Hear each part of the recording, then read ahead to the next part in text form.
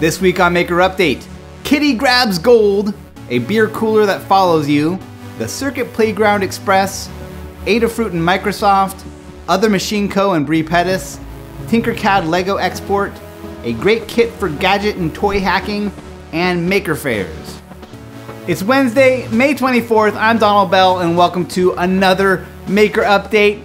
Man, I hope you're having a great week because I am having a just outrageously beyond my expectations kind of week. Uh, Maker Faire Bay Area, the panel went great.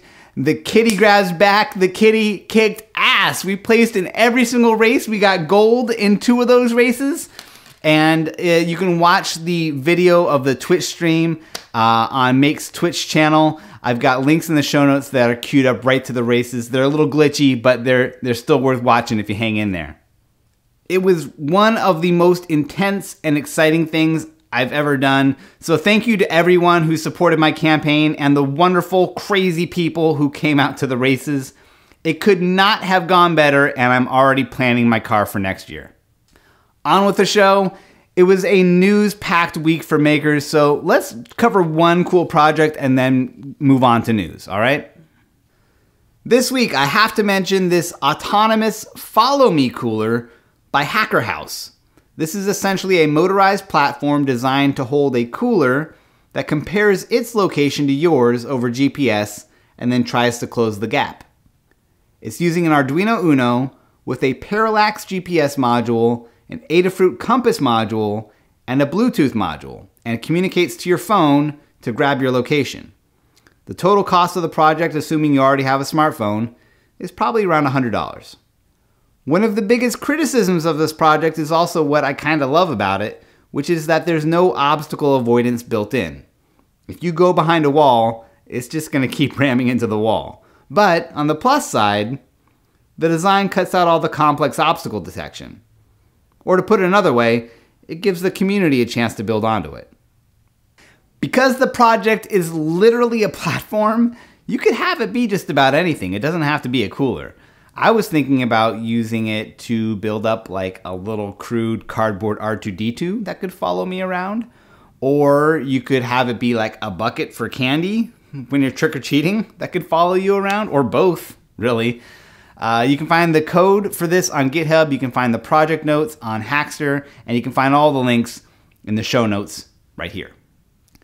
And now for news this week, timed with Maker Faire, Microsoft announced that their free web based MakeCode software is now compatible with a new version of the Adafruit Circuit Playground board called the Circuit Playground Express.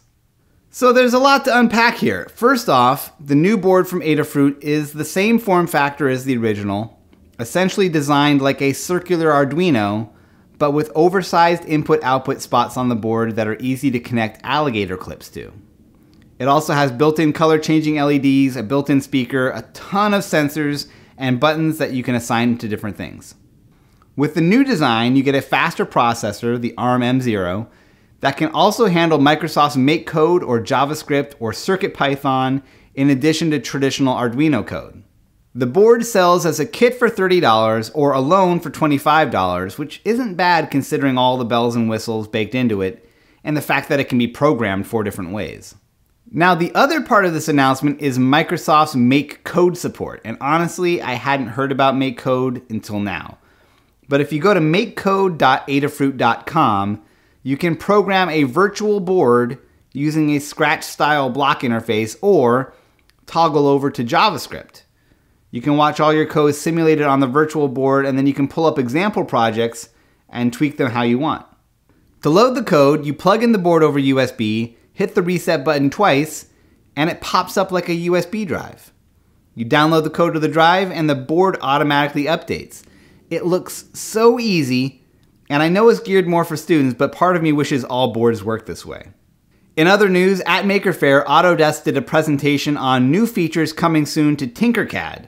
These will include the ability to export directly to Fusion 360, an export to Lego feature, and the ability to import circuit designs to create enclosures. It all sounds great, and the price will still be free. One final bit of news, Other Machine Co., maker of the Other Mill desktop CNC mill, has been sold and the buyer is none other than Bre Pettis, former CEO and co founder of MakerBot. And despite all the drama of the MakerBot story, I'm excited to see Bree stepping back into the maker community. Danielle Applestone will still serve as CEO, and she seems genuinely excited about the acquisition. It's going to be fun to see where this goes. It's time once again for a one minute review of an uncommon but totally useful tool brought to you by my friends at the Cool Tools blog. This week we're going to talk about the iFixit Essential Electronics Toolkit. It sells for around $25 on Amazon Prime, and by using the link in the video description here, you help to support this show and the Cool Tools blog. I've had this kit for around a year now, and it's especially great for opening up and repairing or hacking my kids' toys, or any electronics with small screws. When a toy breaks, especially an RC car, this is my one-stop triage kit. It comes in a hard plastic shell with magnetic corners, and the lid is designed with this raised grid inside that works great for grouping together little screws and bits as you go along. Which just right there, that alone shows you the kind of attention to detail that went into this kit. Inside, you'll find a great set of tools for separating out the layers of delicate electronics like smartphones or tablets. If you're lucky, you'll never have to use it for that, but I've done an iPod touch screen repair with these same tools. You also get a pair of precision tweezers and a metal jimmy tool that's good for gently prying things apart without cutting yourself. Mostly though, I keep coming back to this kit for the screwdriver. This is like the Maserati of precision screwdrivers. It's a magnetized metal handle that comes with 16 bits that run from Phillips and flat to exotic pentalobes and security bits. It's a great price for what it is, and you'll feel like a pro every time you use it. If you've suffered through using these cheap jeweler's screwdrivers that chew up your fingers, then you've earned this upgrade. You support this show by using the link in the video description, so thank you for doing that. And you can see thousands of other reader recommended tools like this at cool-tools.org. Speaking of cool tools, for those of you who enjoy their podcast but wish it came out more frequently, they've launched a Patreon to help them ramp up to a weekly release schedule. There are some great perks, and you can find out more at patreon.com slash cooltools. Maker Faires! The Mothership Fair just wrapped up, but Maker Faire season is still just getting started.